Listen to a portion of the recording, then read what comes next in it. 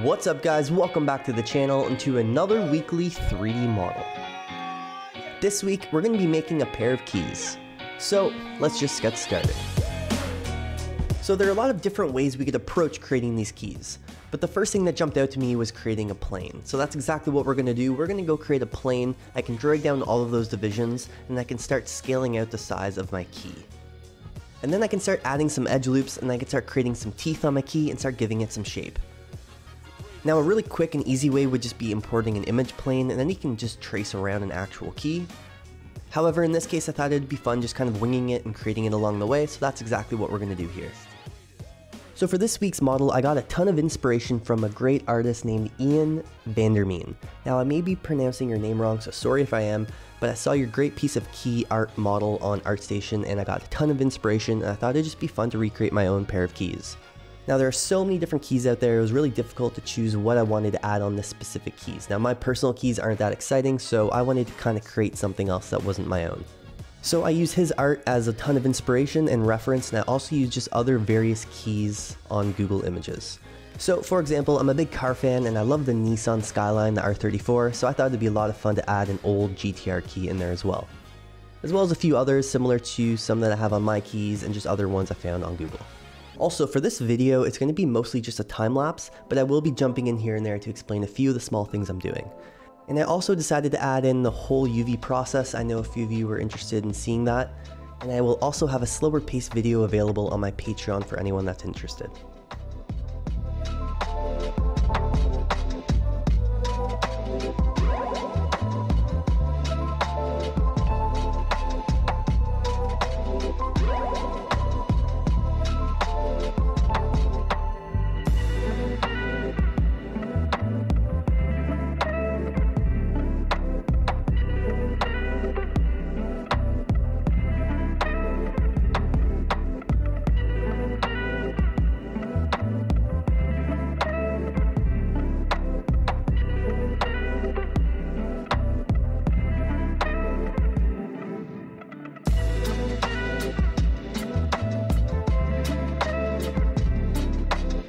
Once I have all of those edge loops in place and I roughly have this shape blocked out, I can go ahead and select whatever faces I would like and I can extrude them upwards to give it some depth.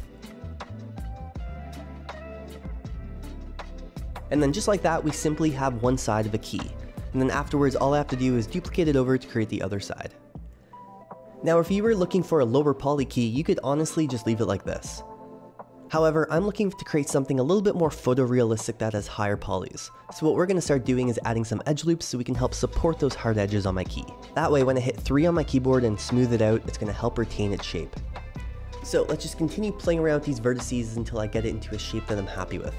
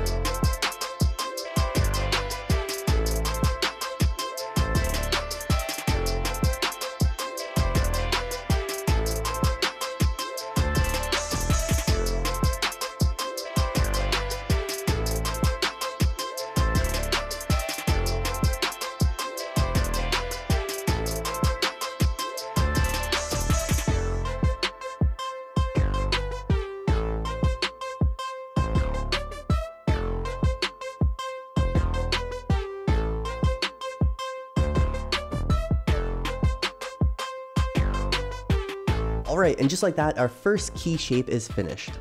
So next up, just creating the very top of the key. So to do this, I'm to start off with a cube and we can start blocking this shape out. Now I am modeling this first key off of a small bike lock key that I have. So it's just a little plastic piece with two little holes on the top. So that's what we're basically to try to do. So we're to do the exact same thing we did to the first part of this key. We're to create one side and then once that's finished, I can just duplicate it for the other. So let's just start blocking the shape out.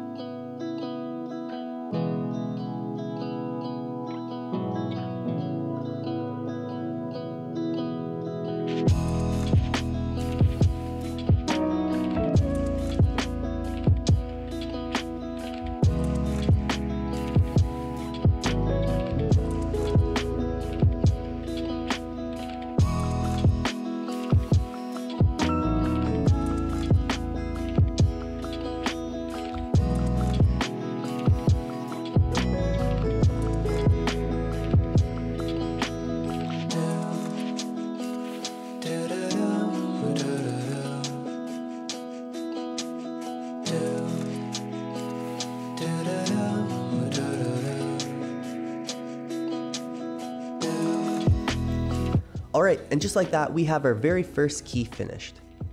So for the next little bit of this video, I'm just going to speed it up because I just repeat this exact same process over and over again for all of the other keys in my scene. So let's go ahead and start blocking those shapes out and we can create some other keys.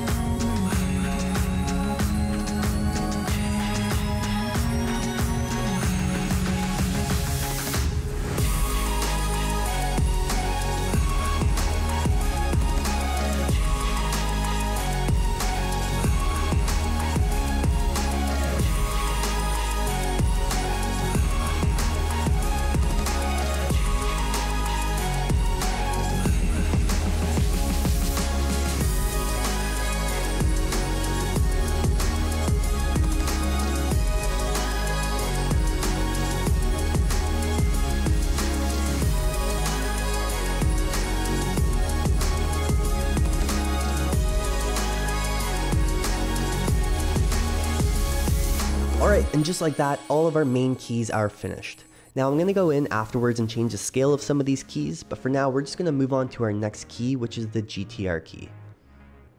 Now this one's modeled off of one of my favorite cars, I wish this key was on my keychain, but unfortunately it's not yet. Now because this is modeled off of a specific model or shape of a key, I probably should have just imported an image plane and just traced it around the actual size, that way it just would have been more accurate to its true shape and dimensions. However, like most of my videos, I'm just to wing it along the way and just use a couple of different images like this one that I found on Google. So let's just continue blocking this shape out and then we can create our last key for our keychain.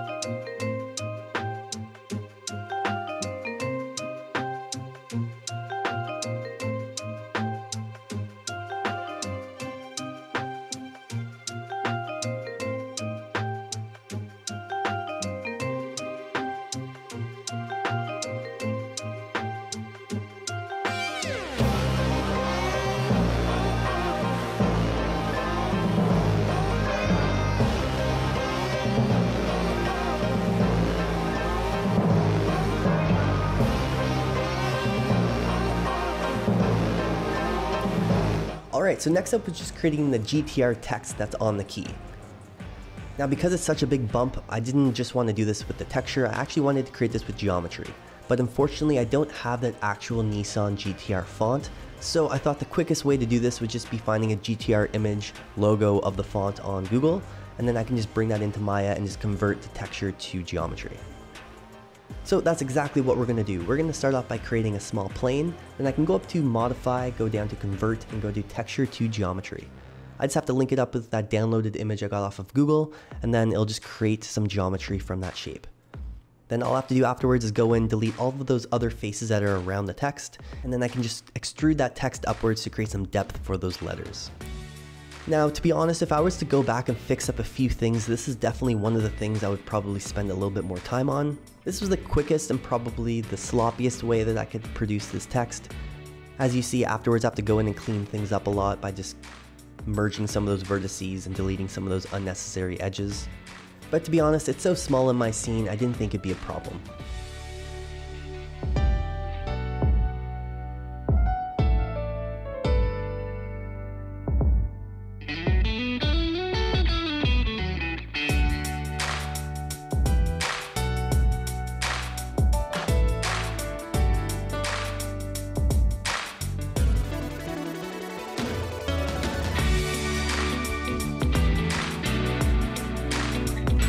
Like I mentioned earlier, after converting this image to geometry, it created a lot of unnecessary edges and vertices.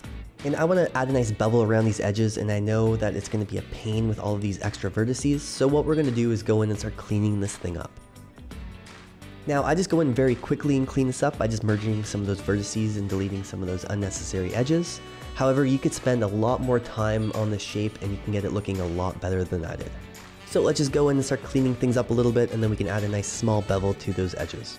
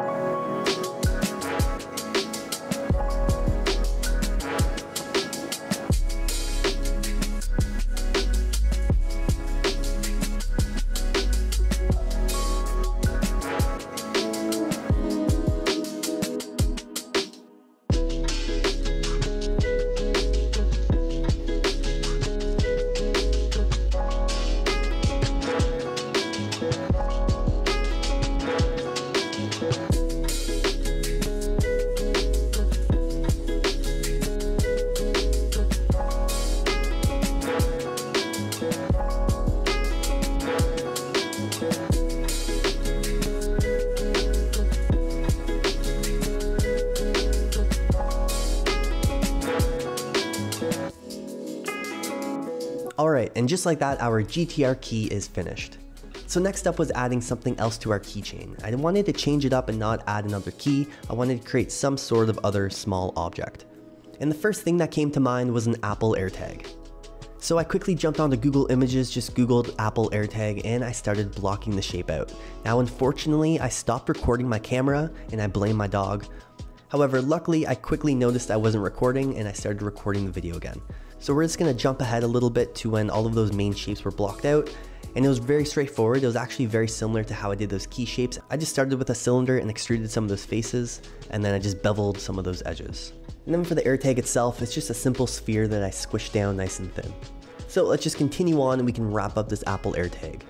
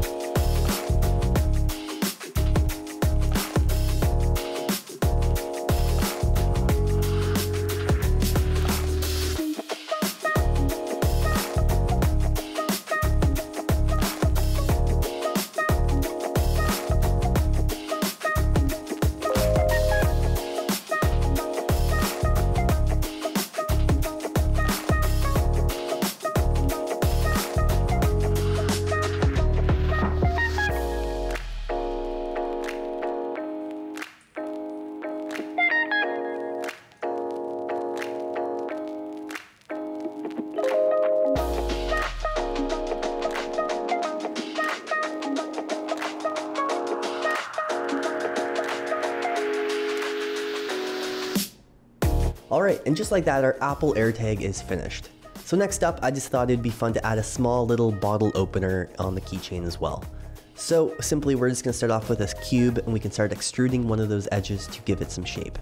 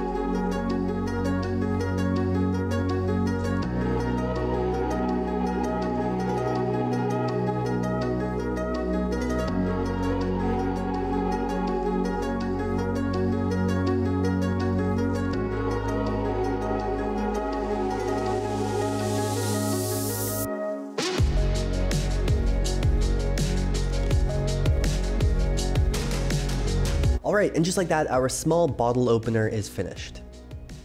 So next up is creating some sort of little pendant or image. I want to create something more fun that we could add onto our keychain. So I quickly jumped onto Google and to be honest it took me quite some time to find an image that I can use, but in the Creative Commons free to use images I finally came across this really funny small cat image and I thought this would be great to add as some sort of little pendant or little keychain image thing. So I thought the quickest way to do this would just be importing an image plane, and then I can start just blocking a shape out around that image. That way later on in Substance Painter, we can very quickly and easily just stamp on the image around our shape. Since it's blocked out around that image, it should hopefully all line up correctly.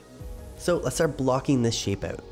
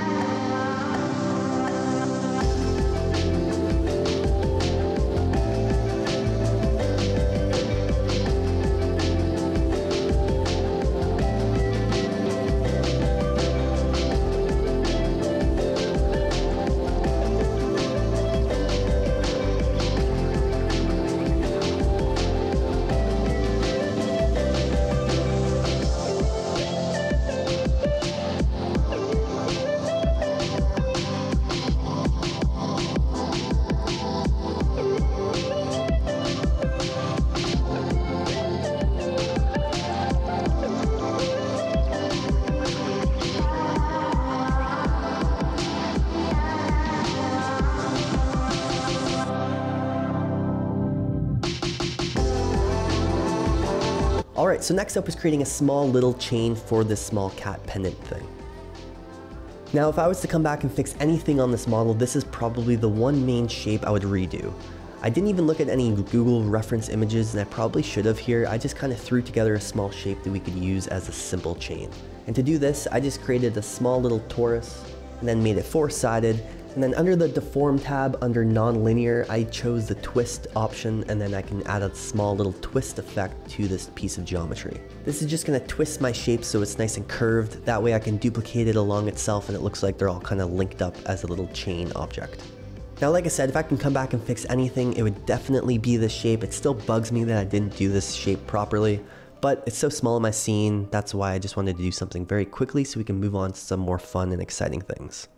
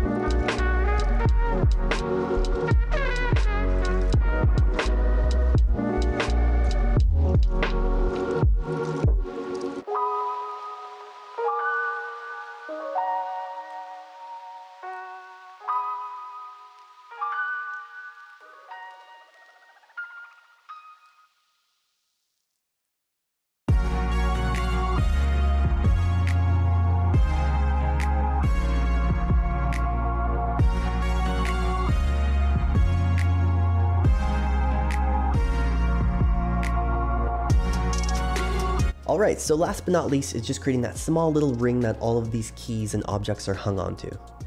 So originally I was just going to reuse that exact same ring that we use on our cat pendant, but after jumping on Google really quickly, I thought a more traditional or universally used ring shape would work better for this object. So I noticed how a lot of these key rings are basically rounded on one side and flat on the other. So that's what we're going to try to do with this one. So what I decided to do was start off with a torus. I could scale that nice and small depending on how thick I want this ring shape to be, and then I can just chop it in half to create that flat side of this shape.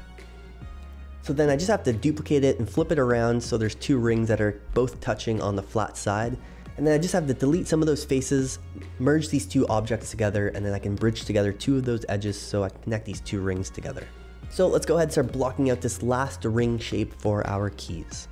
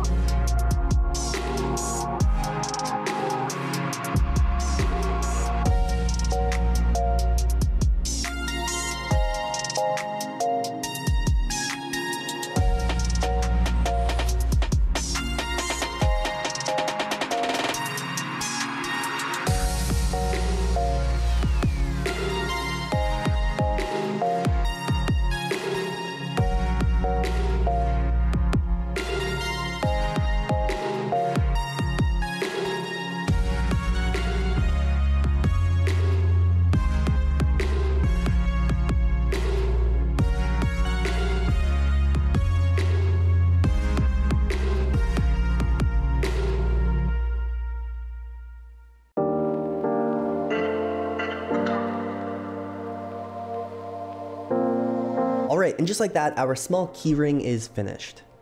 So really quickly before we moved on to the UVs, I thought it'd be fun to add one extra small detail, just like a more personal little touch to this object. So I thought it'd be fun to duplicate that same small ring we created earlier, and I could just wrap a small piece of tape around it. But really quickly before we add the tape, I'm just going to change how these teeth look on the key so they're not identical to one another. I don't want to have two of the exact same key, I want it to look like they're two similar keys that are just cut differently. And that's exactly why you're using the tape so you can distinguish the difference from one another. So we're just going to zoom in and move around some of these vertices so it looks different than the first key we created.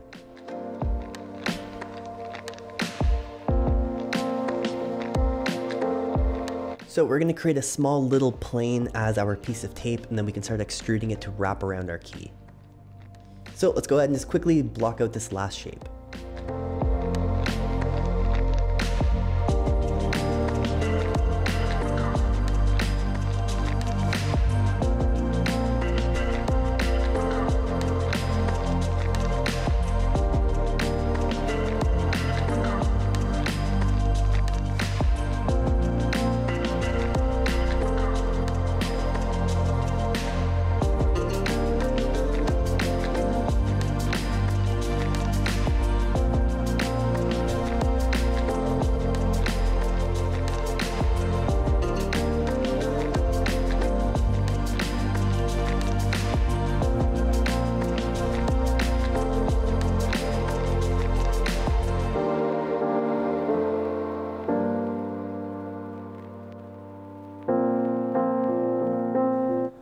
So all of our objects are modeled. Next up is just doing all of those UVs. So really quickly, before we do that, I'm just going to clean it up a little bit. So we're just going to select all the objects, delete all of the history. I can go through the outliner and delete all of the empty folders and all of the things we don't need. And then I can also just start grouping all of these shapes and giving them some names.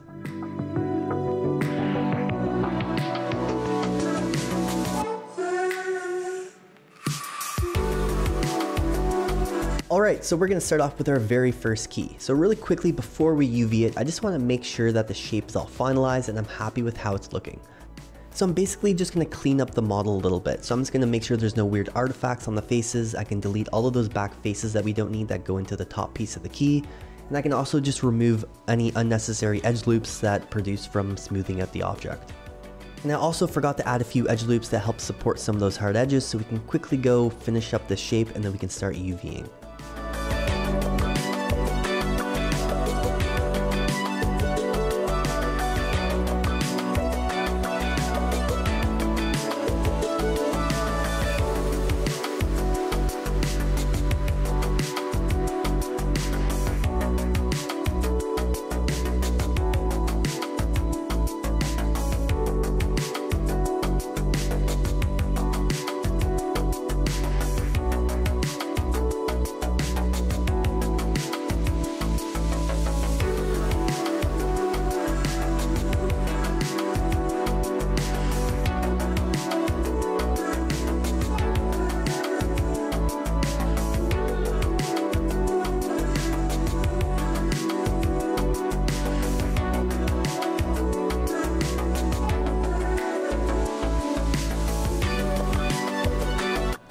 So now that our key shape is finally looking good, we can go ahead and start the UVing process.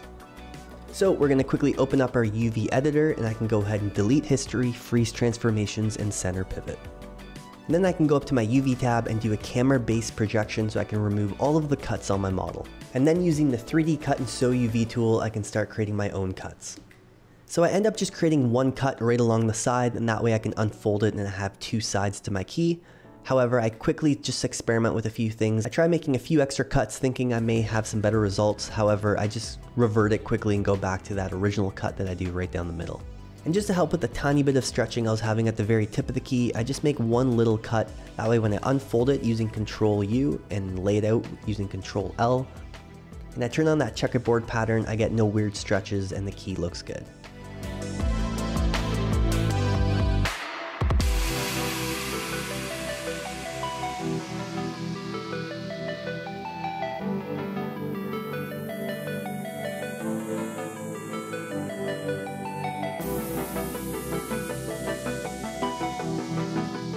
And just like that, our bottom part of our key is UV'd, so let's do the exact same process now to the top. So once again, starting off with a camera-based projection to remove all of those cuts, and then using the 3D Cut and Sew UV tool, I can go ahead and start creating my own cuts on the model wherever I want them.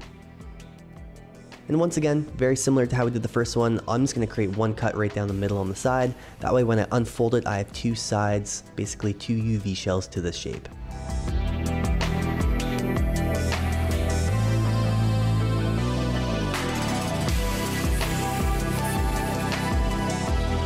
Alright, so now that I have both of these shapes of this key UV'd, I can go ahead and select this key group, and I can select all of those UV shells and go Control L to lay them out.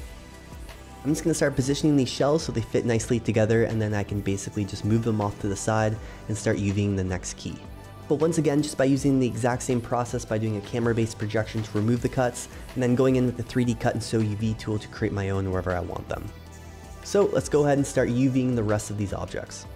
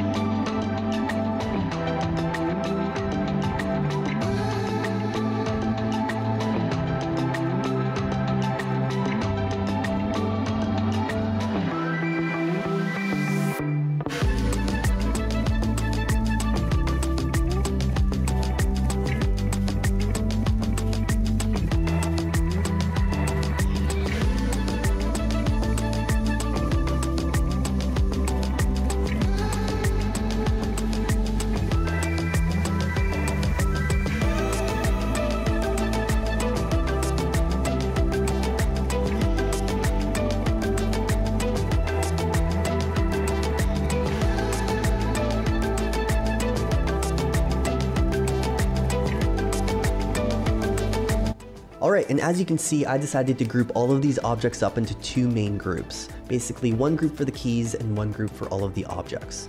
And what I'm going to do is assign a different material to both of these groups. That way later on in Substance Painter, I will have two different texture sets, one for the keys and one for all of the objects.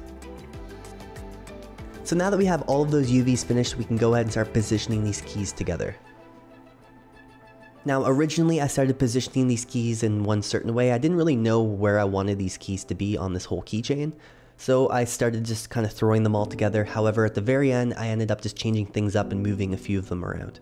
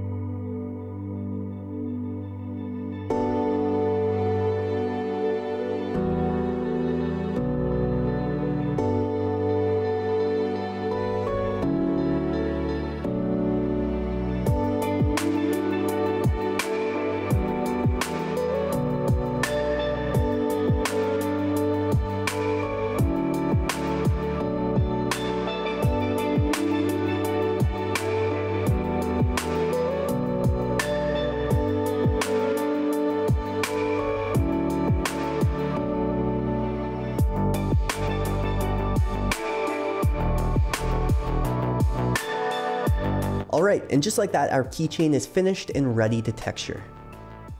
Now, like I mentioned earlier, I forgot to add those materials, so really quickly I'm to add a material to each one of those folders, one for the keys and one for all of the items. And then we can export it and jump into Substance Painter to start texturing.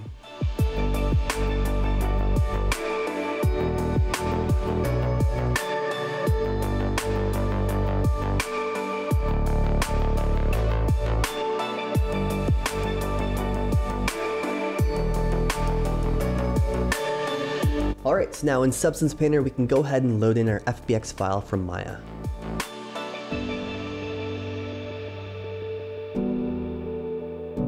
And if everything's looking good, we can go over to our texture set settings, scroll down to bake mesh maps, choose your output size, I chose 4K, and make sure to check on that use low poly mesh as high poly mesh.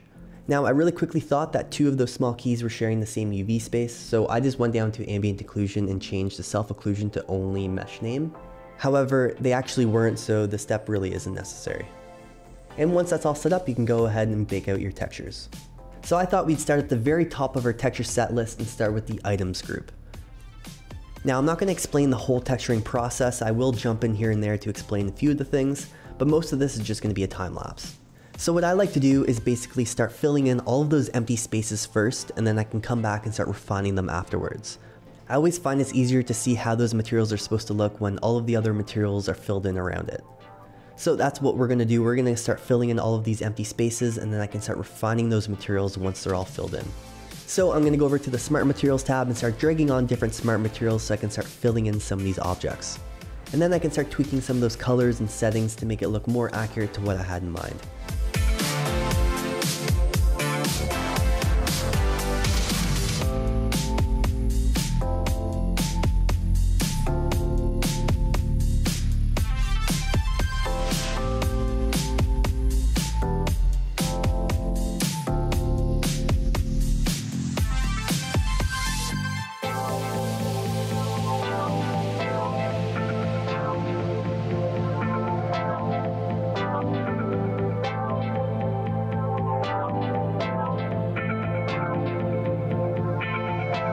So really quickly here, when I was texturing this Apple AirTag, I noticed in the reference photo I was following online, it had some sort of stitching effect on the very bottom.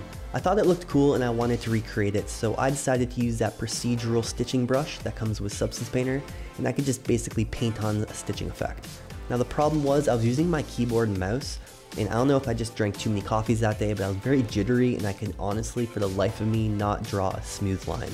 So I just really quickly jumped onto my tablet and I drew on that line. Now don't get me wrong, it still wasn't perfect, but like I said, I think I just drank too many coffees and I didn't want to just obsess over getting this line perfect. So I got it straight enough and I decided to go with that.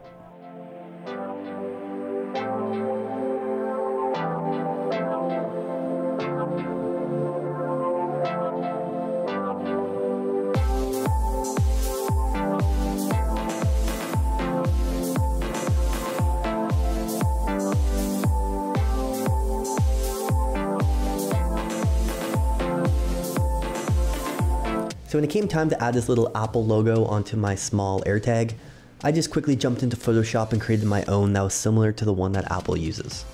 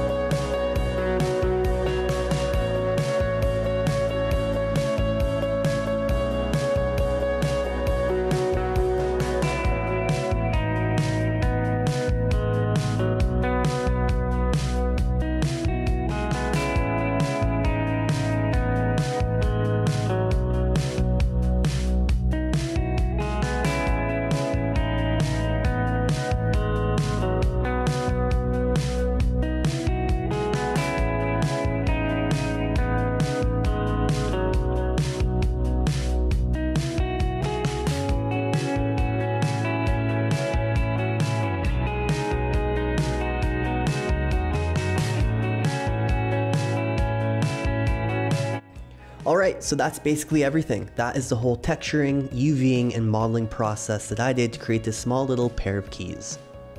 Now I spent the next little bit just jumping in and out of the renderer and the editor, just making small tweaks and changes to the materials. To be honest, I think this is the most important part of the whole texturing process is the end when you make those final adjustments. So I just spent some time just tweaking things until I got them a little closer to what I had in mind. Now I will be also throwing the same video up on my Patreon page, but at a much slower pace, so if you're interested in checking that out, check out the link that's in the description below. It's also a great way to support the channel as well as get access to additional content. And really quickly, I just want to give a really big thank you to all of my subscribers, my Patreons, and everyone that has helped support the channel. I really can't thank you guys enough. And if you're not subscribed, you know what to do. I think something like 60% of you are not even subscribed, so if you want to share some love, hit that subscribe button and it would really help me out a lot. Anyways, thanks so much for tuning in this week's video. If you guys liked the video, give it a like, and don't forget to subscribe to see more weekly 3D content. Alright, I'll catch you guys in the next one.